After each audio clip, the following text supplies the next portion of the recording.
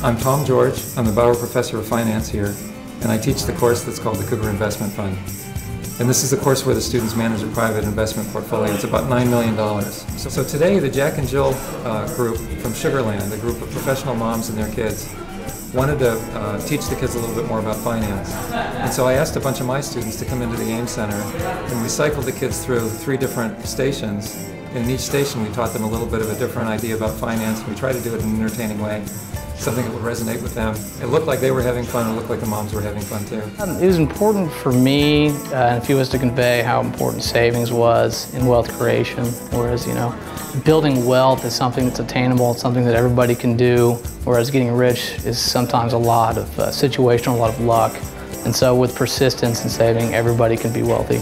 Finance is something that they're going to carry on from now till the rest of their lives. And it's important to start putting that thought into their little powerful heads that they have to be responsible individuals going forward.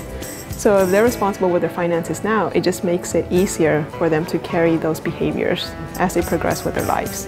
The cool thing about the Cougar Fund is we are learning the nuts and bolts of, of finance and kind of this, these are the things that we're going to need to know as professionals. But with that said, we're also learning. So to see kind of um, to see young kids kind of gaining that early interest that many of um, many of us experienced when maybe we were their age um, is cool to see. There's the reason why we're, you know, why everyone's here is because someone at some point of their lives took time to invest to help you grow.